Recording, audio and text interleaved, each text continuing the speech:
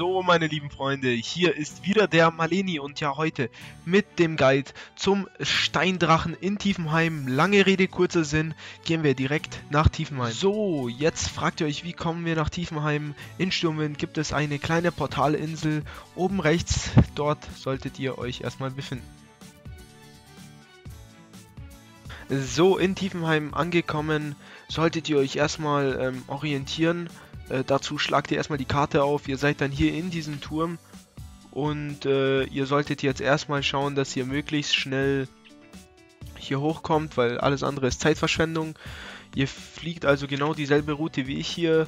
Ich bin hier übrigens noch mit meinem Krieger unterwegs.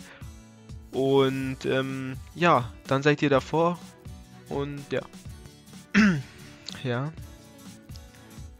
Zu beachten ist, äh, dass ihr ähm, auch auf einem non-heroisch äh, Schwierigkeitsgrad arbeiten könnt und somit ist heroisch nur eine Zeitverschwendung, die es alles nur noch schwerer macht. So, jetzt beginnt eigentlich erst das eigentliche Gemetzel in der Indie.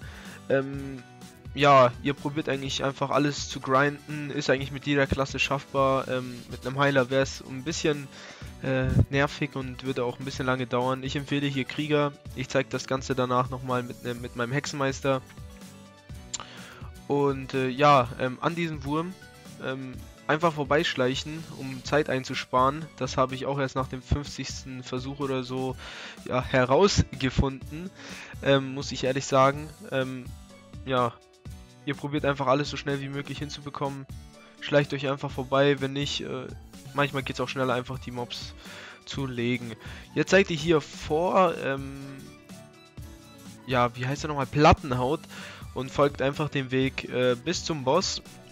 Dort wird er sich dann vor euch äh, platzieren und dann beginnt eigentlich der Bosskampf und äh, ja, zu dem komme ich gleich.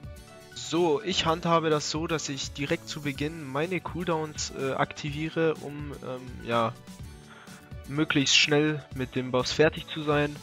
Ähm, also es ist keine große Herausforderung, zweieinhalb Millionen Leben sollte eigentlich schaffbar sein. Ich habe das damals auch schon gemacht. Ähm, mit einem Gear, mit einem Gear Level von 450, das geht eigentlich alles. Ist eigentlich alles drin mit Level 90.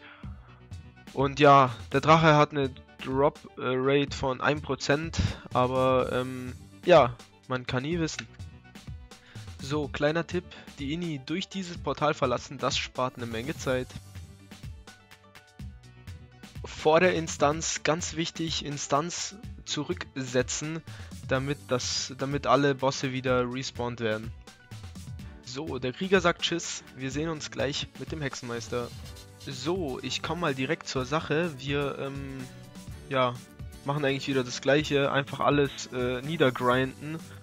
Ähm, mit dem Hexenmeister ähm, ein bisschen schwieriger, schwieriger muss ich ganz ehrlich zugeben. Ähm, mit dem Krieger geht es ja doch ein bisschen leichter wegen der Plattenrüstung, aber es ist auf jeden Fall locker schaffbar mit dem Hexenmeister.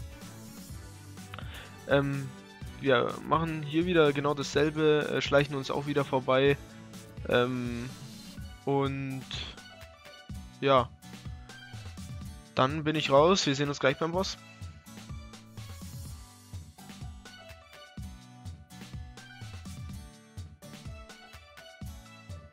Ja, äh, mit dem Hexenmeister, ähm, ja, auch wieder das gleiche, Cooldowns direkt am Anfang. Ähm, kann man machen, wie man will, ist jetzt nicht sonderlich äh, notwendig. Ähm, ja, wie man sieht, ist nicht so viel Damage wie beim Krieger, aber liegt auch am Gear.